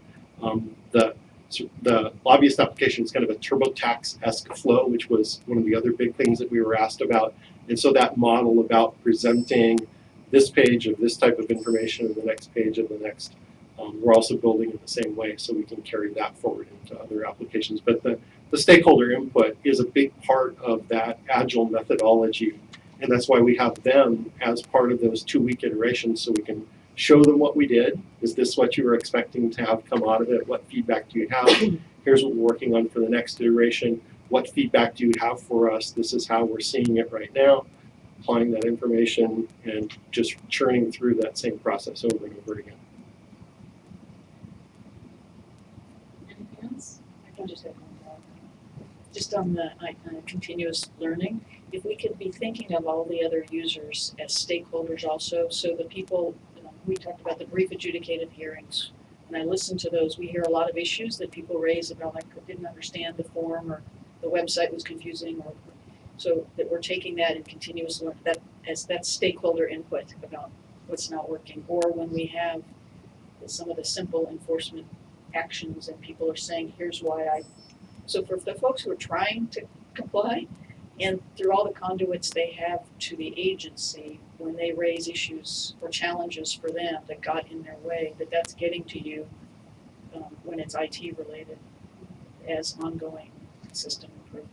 Because we do hear a lot from folks, right? Yeah, and I think that I think the place where we've done a lot of work, but we probably have a lot of room for improvement is making sure that when we get that feedback that it gets better memorialized, especially when it's not something that we're currently working on or we have a project that's pretty far off in the distance. And so um, I'll think a little bit more about how we do a better job of memorializing some of that so we actually do it when we get to the point of doing that work. Thank you. Do you want to turn to the website? Um, if if Ms. Anderson is ready to go there, we can do that. So before you look at this, I want to give you some baseline expectations. One of the things that is very exciting about this is that every single aspect has come from work that we've done either with stakeholders or um, the analytics that we've been able to um, have available from Google on what the user interface is. A lot of time was spent initially coming up with user personas, you know, who are the people who are doing this and who are the people that we need to find solutions for. The one exception is um, something Commissioner Levinson had just mentioned to me when we were talking about strategic planning was that the name of our agency isn't really helpful. If people don't know what Public Disclosure Commission does, to the extent that they guess, they usually think public records, not campaign finance candidates and lobbyists. So we've actually, um, yep, go there, okay. So we've actually taken our name off the top. We say PDC, regulating, what does it say, regulating, regulating candidates, campaigns, and lobbyists. So we're hoping even little things like that will be a help. The other thing that was uh, brought up regularly was for someone who's there to file, just give us a button. And so we have under the quick links, the first button is filing online. Uh, the other was um, we're really interested in new campaigns. You know, we want to get a snapshot uh, when we go to your website of who's filed what. And so we have right on the front page a listing of all of the new campaigns that will automatically populate throughout the day. Um, one of the goals here for me is to try to get people in the habit of checking regularly on our website for updated information. This is not set in stone. This is an artist's rendering of what it will look like. I think it is much cleaner and much better than anything we've had before. We can change some of it and some of it we will be changing. What Lori and James are working on right now is sort of the functionality piece of how does it work and does it work right. Um, so any thoughts you have would be welcome. Um, as with everything we do, you know, if we make any significant changes, there, there could be a cost driver. This has been a really impressive contract because we're able to get really a new website for $100,000 in three months. And let me tell you, in state government, that is unprecedented. So I feel very positive about this. I think it's a significant change. Is it perfect? No. Um, it's going to be something that we will work on and work on and work on some more. But that's the whole point of having it be on the Drupal platform. The Drupal platform is an open source software. We have experts in house and then the world of expertise outside. And anything that we want to do, we can go to that forum and say, Have you ever done this kind of application? Have you ever done that? And we will get people who say, Yeah, I've done it. Here's an idea, or here's something for you to use. So this is going to be a very dynamic, uh, very iterative. It will change over time, and we'll be able to control it in a way that we have never been able to in the past. What else should we say? Well, thank, thank you, and I think that's a great summary. Um, and, and again, yeah, you're, this is kind of awkward looking and give it a, give it a try like this anyway. Um, but yeah, it's been a really iterative process and sometimes it takes seeing something in action to have a better idea about how we might do it as well. Um, and just a couple things that, that I'll say right off the start. Um, the uh, vendor that we're working with has been really helpful in sort of pushing us towards ideas like the um, new campaigns list. They didn't know that campaigns was the thing, but what they knew was tell us something that you have that's going on on an almost daily basis. Something that will really draw people to want to come back and look at something. And so um, we looked at the campaign registrations and they are continuously coming in. And so at least once every few days, we have new campaigns registering with us. And when they do, that's what will pop up in that space. And then we have the opportunity to add others as well. And so we can do the same thing with the um, enforcement cases because we have those coming up new and they can be added into a really similar type of list and we can decide whether or not to have those published to the homepage. And there's a lot of flexibility in the system to allow that. Um, there's some things also that uh, I'll, I'll say that I'm not entirely sold on either. Are you? Are you on the homepage? So up at the very top there, you'll see learn, explore, engage, which are categories. And if you click one of those, it drops down to expose sort of how you navigate into the second level of items. And those menus are here in the footer. And Well, I should say, and on the real website, it, there's an automatic drop into those items, but those items are also at the bottom. I, I tell you, I, those titles do not work for me. We've, me, we've, me, me neither. we've been struggling with those titles. So instead of explore, the latest suggestion, so this, as Ellen said, was not set in stone. In fact, we've already made other suggestions to them. Instead of explore, we've asked to use the word browse. Um, under that tab would be another link into the searchable database and the place where you can go and look at reports, um, search enforcement cases, which is already in the highlighted quick links, and then um, getting to into the authorities and some of the other things that we have, like graphs and charts and record setting campaigns. I think the, the difficulty we're having is, um, from the data we've been given, it appeared that there were really three buckets that people wanted to have. And the first was, how do I figure out how to do stuff? You know, where are the manuals, where's the instructions, where's everything? The second is, let me get into the database and see what I can find about information. And then the third is, what's the commission doing, what's the agency doing? And we've been, it's ridiculous, but we have, and I can't tell you how many minutes I've spent trying to think of better words than these. So if you have any Yeah, search. search. Well, the, and the, the only difficulty is search is, is going for the entire website. So it, so is research better? I know, you're doing a deep sigh. I feel that too. I, I'm telling you, if this is a hundred thousand dollars, fifty thousand of it is right on this front page, okay, and it's gotta work, and, um, that doesn't.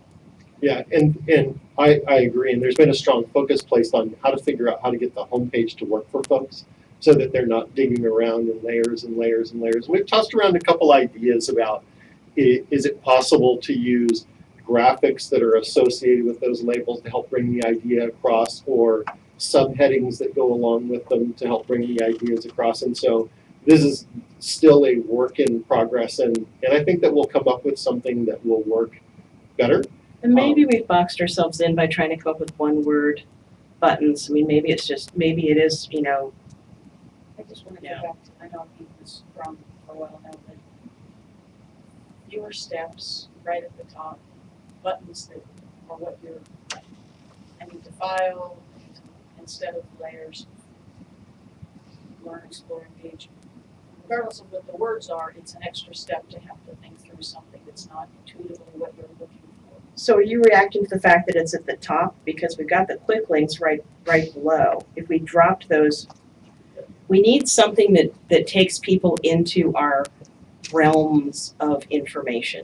know, I'm still an advocate for the version that is right on the homepage, the buttons of what you're going to direct, so that graphic is your view have the users taking them in directly without multiple layers or links, just the, you know, the way private sector websites are tending to, and I would just still urge our consultants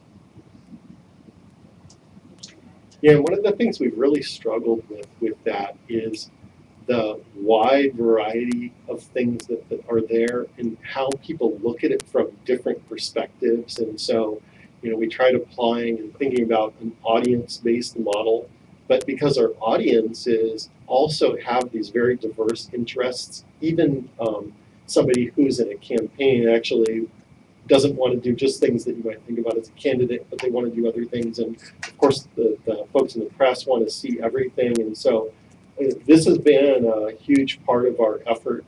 Um, it was one of the things we really stressed in looking for a vendor to do the work was their capability to look at what we have and our users and do that analysis and talk to the people about what they needed. Um, and I think we're getting closer, um, but I think we still have a ways to go. And then the other um, idea, this started with something that you had brought up as well, uh, Commissioner Levinson, about sort of this idea that I I want to do a particular thing. Um, it has some difficulty for us as well, of course, because of the broad, and you give somebody a list of 800 things to do, that also becomes cumbersome for them. But I was talking just yesterday to a friend of mine who does user interface design work, um, and she suggested a couple of things that I'm also going to talk to the vendor about about how we can do some sort of um, maybe expert assistance um, instead of digging down into buckets that could be. We don't want to clutter the homepage, and of course, finding that balance is always hard too. But maybe some sort of expert assistance where you know I'm interested in, and then there's a couple of key areas.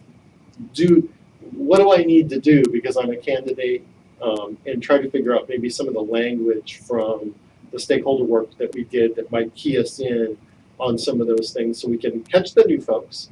Because the folks that come all the time, um, they're going to figure out where things are as, as long as we make it easy for them to figure out which bucket to go in. But especially for somebody new coming in, to be able to just, I just need to know, did I hit the right website? Because I'm a new candidate and I don't even know really why I'm here. So what do I need to know?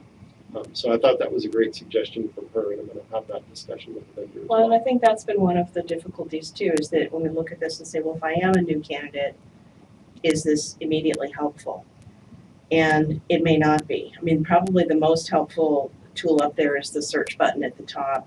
Um, there's also a search, um, query sign on the left-hand side of it, um, to just say, you know, file a report or whatever it may be.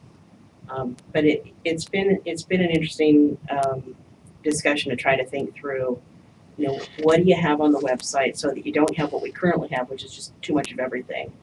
But what are the important elements and how do you make them usable? As James and I think Evelyn have both said, that month of user research that we did, plus our own little un, very unscientific survey that we did before we ever got into um, even writing the proposal, told us that there are really three categories of what people come to our website for. And one was to do something because they are engaging in campaigning, so they have to file something. They want the information that has been collected out of those reports. They, and they want to see what the commission is doing, including enforcement.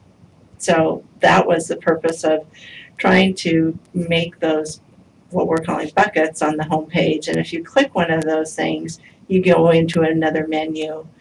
And if you, when you actually get to that landing page, then you would see the, how do I kind of activity. Um, what we, But I'm, I'm sorry, Lori, but it, you gotta get there faster. You just do. You know, so the people who know what they're coming for, we've tried to address that right here in these quick links. They can file right now, click here, and it takes them in to a filing application. They can track enforcement right here. They, if they click that, they get the summary of all the complaints that we've received. And there's a new feature that we don't have right now, which is the PDC calendar that would have all events on it from commission meetings to filing deadlines to whatever else is going on that should be on an actual calendar. Well, and, um, and let me ask, would it, is part of it that that's not prominent enough? Tell, tell me a little bit about what, what you need, because your feedback is really valuable. I think you described correctly, you know, what, what do people come here for? So we've got, you know, we have the f- people that have to do business with us, lobbyists, candidates, committees, and other mandatory filers, for F one filers, people like us. Mhm. Okay. Um, you know, we need something up there that grabs, here's what you do, here's your place, here's you, here's how you plug in. And, and then the, the next one is people, the public who wants to search, whether it's the media or individuals or, you know, people that do opposition research or, you know, all the other things that are done in campaigns. Um, Citizens that want to just look, boom, here's how you go about doing this. And, you know, I don't see anything, if, if I was just looking to see, uh, I wanted to search a campaign like, uh, contributions. Am I looking at track enforcement? No. Know, you're looking at search all campaigns. Uh, But, So that you're, what I'm hearing is these words don't mean, yeah. Don't tell you what like that- campaigns though. I look at that, I go, that's just for new campaigns. Yeah. That's not user friendly. Mhm. I can't stress enough how important it is to get this right. Well, we know, I mean, and, and we worked know. really hard to get the money to do this, and I'm, and this is the first time we've seen it, and I gotta tell you, I'm not satisfied. Okay. So just to keep building on this, so, uh, I know we've talked about that, just thinking of the words in terms of the user, not in terms of us. Yes. So that, um, I don't know what track enforcement means when I look at that. I, and PDC calendar, when I mentioned that, what I was looking for to be prominent was critical dates that I need to know about, right? Not necessarily the PDC calendar, like Mike, what's the, so critical filing dates or important, so what do I need to know about when the F one is due or when my mm-hmm. campaign committee, you know, is it three weeks before election day? So, again, I wouldn't necessarily think of that as PDC calendar, right? So, just, then the same about the, um, I feel the same way as Grant, what I like across the top is, you know, elected officials, lobbyists, so it's the user frame, right? Mhm. And so that we capture those groups right off the top, and then everybody else who's searching the whole database, I get that that's a different field, but the Yeah. regulated community, we have buckets of regulated community, lobbyists and campaign treasurers. Yeah. So, does it make sense to have buttons that speak to those user groups so they can dive right in at that? Or do they need too many different Yes, and just thinking off the top of my head, and, and I think part of the problem is the wording. It's really tough to understand what the wording is supposed to mean. Um, and I wrote down the same words that you used, Commissioner Levinson, and I don't think it's the right word for the website, but I think it gets us close to what we need to be thinking about. Um, and that first bucket really is all about the regulated community. Um, if the label was a regulated community, I don't think that would get me there No, if I was coming in as a candidate. No, I'm talking Right. about the, the customers within the regulated community, we have a half a dozen buckets of those. And saying to them, you know, having to be able to go and say, I am a lobbyist, okay, this is where you're going, this is the path. So go back, Lori, to the one that shows the menus disclosed.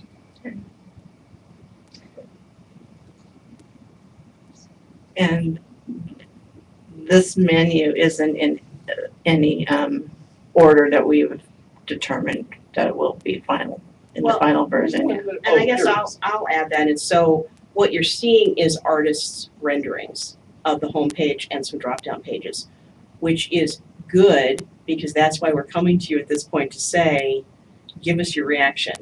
And I am not in any way dismayed that your reaction is, oh, that is not what I was hoping for. But give us that feedback, because this is the point where we can start using it. I couldn't be more unequivocal. No, you're, you're being very clear, and I appreciate that clarity, but, but let me tell you this, so in order to have meaningful feedback, you've gotta have something to react to. It would not have been helpful to have a blank page and say, what do you want in a website? You have to have something sitting up there to say, that's not what I want, or that piece is okay. So this conversation is really important to us.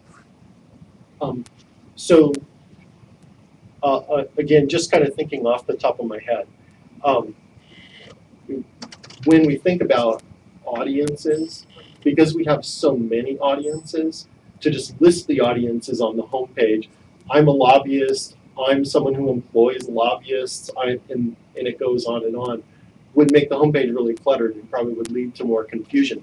The way that they're envisioning these buckets working is they're not a click wait for the web page to load, but rather they're all there on the web page. They're just hidden until you go to that item. You click on the item and they're instantaneous so that people aren't waiting for the next page to load. And you can explore by just click, click, click and be very fast.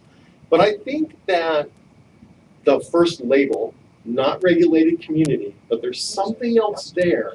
And it's something along the lines of I am a. And maybe what shows up in that bucket is where we list out all the potential customer classes so that they can click on that and we show them the things that are probably most likely for them to be interested in. And maybe the second bucket really is something more along the lines of public information. Um, so it makes it more clear that this is about coming here and to learning about what I need to do. And this is about coming here to learn about all the things that the PDC can do for me. And maybe the third one's a little bit more about, so let me learn about the commission and how the commission operates and when the meetings are, which is a lot of what is in that engage bucket, as well as maybe contacting staff and asking questions.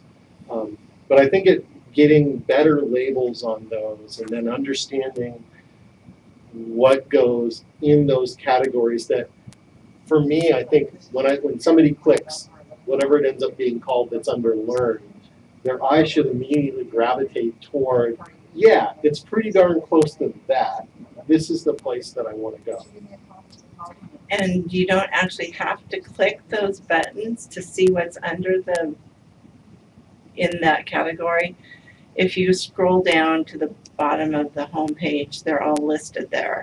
And I'll, I'll tell you, my struggle with coming up with, um, this kind of navigation stream has really been, I'm one foot here and I'm one foot in the old website because when we developed this one, we wanted to help lead filers to where they needed to be.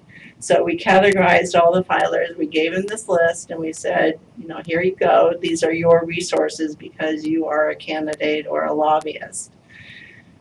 What I have found through helping people try to navigate our website is I don't need to be a lobbyist or it's not just lobbyists who want to know what the lobbyist requirements are.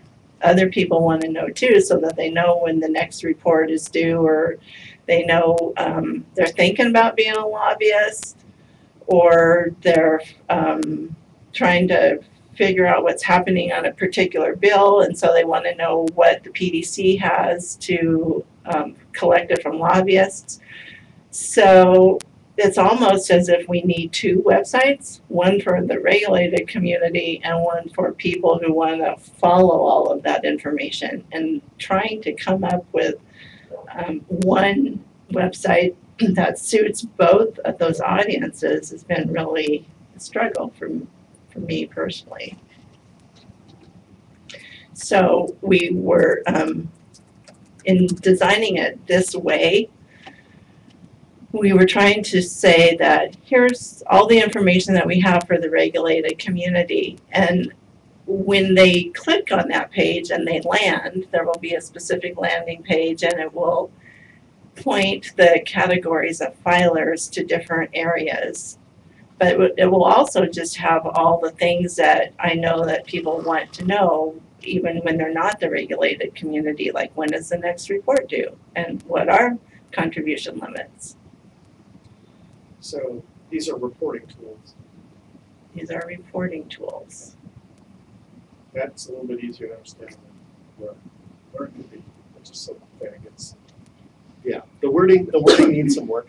Um, and then the other thing about the calendar, and, and I made a note to myself that we need to push back a little bit about the labeling about calendar versus understanding dates. But one of the really neat things about um, what we're doing implementation wise is all the various kinds of events have other metadata to go with them. Or is it a commission meeting? Is it a training?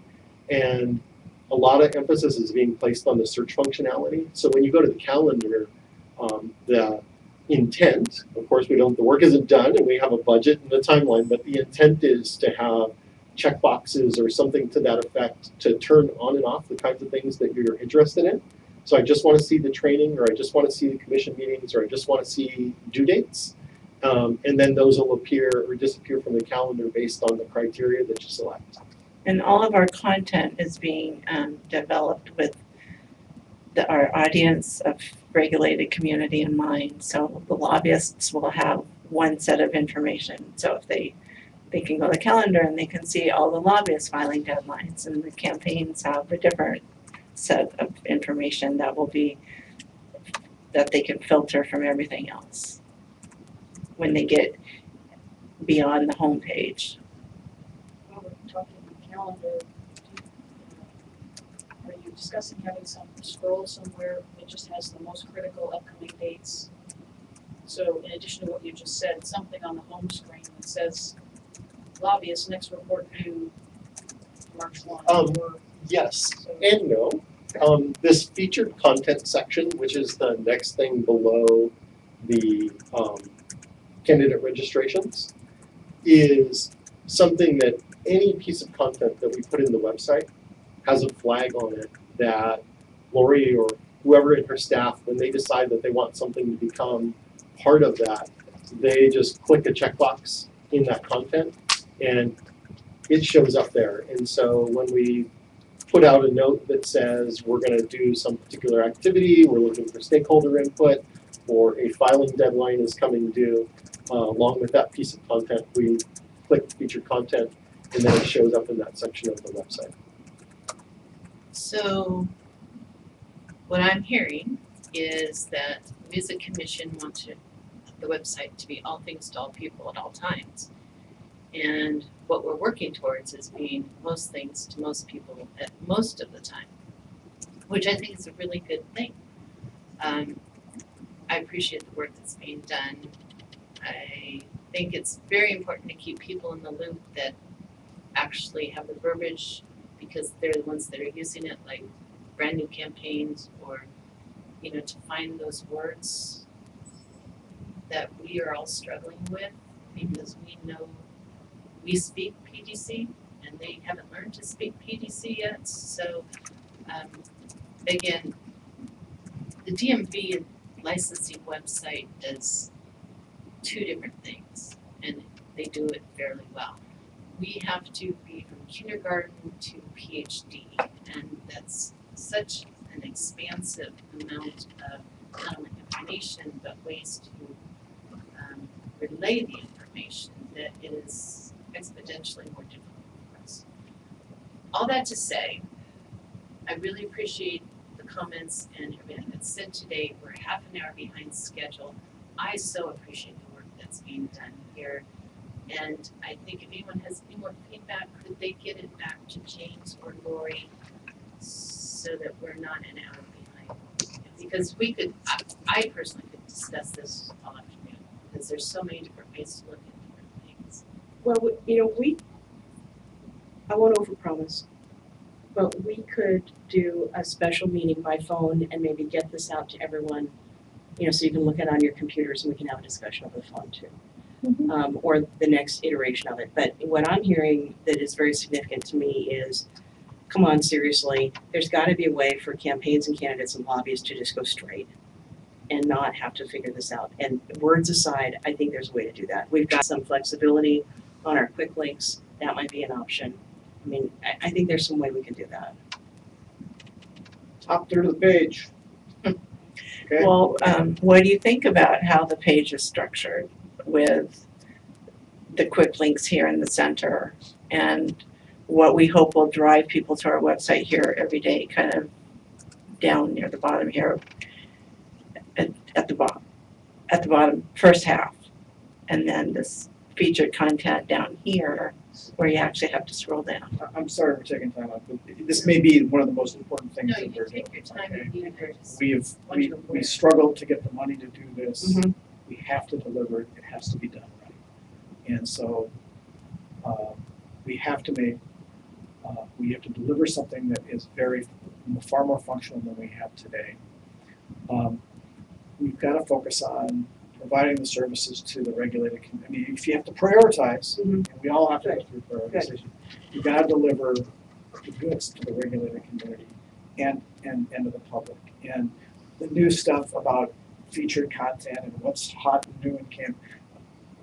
That's sort of the nice to haves, the need to haves are, you know, how do I improve the, the file, the, the, the, uh, experience for the filers, okay, and get that information in and produced in a, in a, in a good way so that we, that improves the, in- the, the back of house functions and it also improves the, the, the experience for everybody that does the file.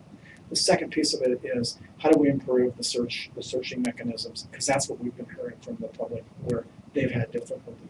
Those are the two most important things. The other stuff, it's all cute, but it's less important. It's just less important. So if that's, if that's, uh, I mean, if you're asking me to prioritize and look at this, to be everything to everybody, it, it, that's the prioritization I would recommend. and and for the same reason. So this, this, I understand why the consultant might be thinking new and fresh and you want things so people can check every day. I don't want people to have to check every day, number one. Number two, I wanna base it on what our analytics tell us people are trying to do with our website. So unless you're telling me that more people are trying to find out about new campaigns than are trying to file, um, Well, James said the consultant, but that's something I've heard from the media year after year. H- How can I easily find who's filed that day? Who's filed, who started their campaign that day with you? And then when our um, on-site contractor was here and did user experience work with our, the people who volunteered to participate. One of the folks that came into that meeting said, well, you know, there's something that the city of Seattle does on their ethics and elections website where they have this feed of filings that happened that day. So that's where we were coming from. even if that turns out to be where you wanna go, calling it new campaigns to me is, is this where I go as a new campaign to file? Is this where I write as opposed to, um, recently filed campaign or something, so that you're making it clear again on all of these words that there's a real purpose for that, and if you're saying that the data shows that people, media or others really wanna log on with some frequency, but for me, a goal is not driving people to the website. The goal is getting the website to work first. You know, in the future, we can work on driving people to it, but I wouldn't ahead of getting it to work for people who have to use it. Okay. Um, And the words are easy to change. We just have to come up with the right words. Very helpful. Yeah, and um, I'll, I'll, I'll do, say this quickly.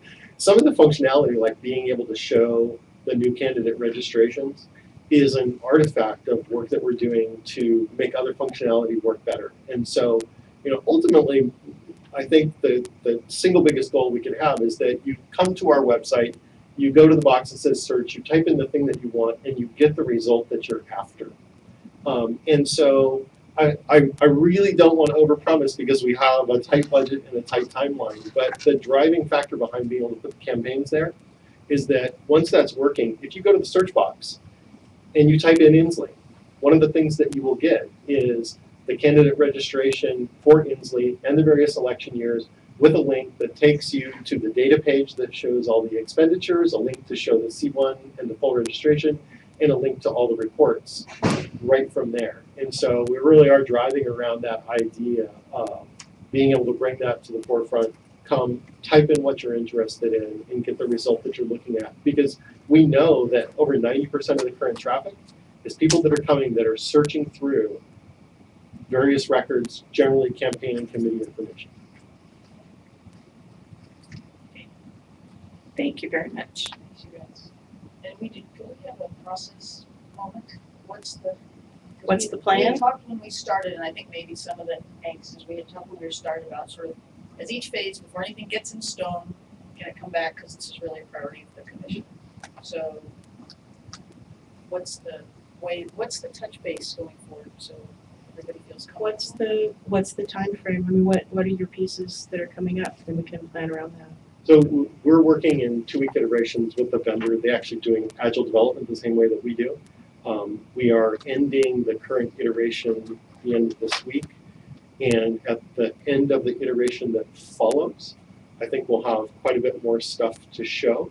Um, and that, you in agreement with that, Lori? Yeah, I think we'll have landing pages out at the next, at the end of the next two weeks. And so um, maybe we should just do a special meeting and we can do it over the phone and make sure that everyone has access or we distribute screenshots if that's where we are um, and have the discussion. Because it's been really valuable to, to hear feedback and especially because you haven't seen it as it's rolled out. Um, I think it makes it even better that you have sort of that initial reaction. So can you tell me briefly what is in stone and what's, um, like, the top three words, are, are there, is three No. buckets? The, the, No, I well, know the words aren't words aren't stone, but are the bucket, like, could we have four buckets? yeah, is the number in stone? I don't Is- I don't know how hard it would be that for them to change from three to four. That's but it's probably and I don't know that medi- we need- medium-ish. The words are easy peasy level stuff. Until a certain point, because these do drive our file structure. I had them take that out. Yeah, and I, one of the things that recently I had the vendor do is remove the dependency on what those labels are. So that if we hate the words in a year because we get feedback from customers that say this is crazy, I can't figure it out, we can change the labels and not have things break going down the road. Um, so we can find out if we can, if there are, you know, let's say, four buttons, because I, I am somewhat taken with the idea of, you know, being really straightforward, just have a button for campaign slash candidates and another button for lobbyists. Because I don't think it would be that hard for someone who wants to know about campaigns to click that button either. Oh, I like the idea of putting that in the quick links. That might work in the quick links too. You, you also might think about the- asking the question, remember it's putting it in the words of the user instead of us, so even search, you might say, what are you trying to do, or what would you like to do, or some, you're trying to invite them in and make it as easy for them. Yeah, we're really battling with that two audience uh, issue and, and what Commissioner Degginger was saying about making sure that we're serving the people, the, the regulated community. And one of the uh, user exercises that we did with stakeholders was about gathering terminology and understanding the words that they speak with. And of course, we're working with the group of people that have a strong interest in our website. They're people that already know about it and they have a very different lingo than the person that's filing for their first campaign. And so again, we're struggling with that balance of experts who know all about us and love us and folks who are, who are here for the first time. And to the chair's point, I don't want to have anyone to have to speak PDC. I don't want to have PDC as a language, right? So it should work for. And just another one of my pet peeves concerning websites in general is not being able to find contact information. I just wanna call somebody and talk to them. It's right on the homepage. That's at the bottom. There's no phone number Yeah, yeah, it's over here on the right column. Phone, both phone numbers and our fax number and an email address. So many websites don't even have a phone number. And we have our address there too. Is there a way that you folks can email that to us? Yes, I'd like that. Yes, we will do that. You're welcome. Thank you. Very helpful. We are a little bit short on time because What's your suggestion on how to? Um, I have passed out the, um, case status reports from the enforcement team.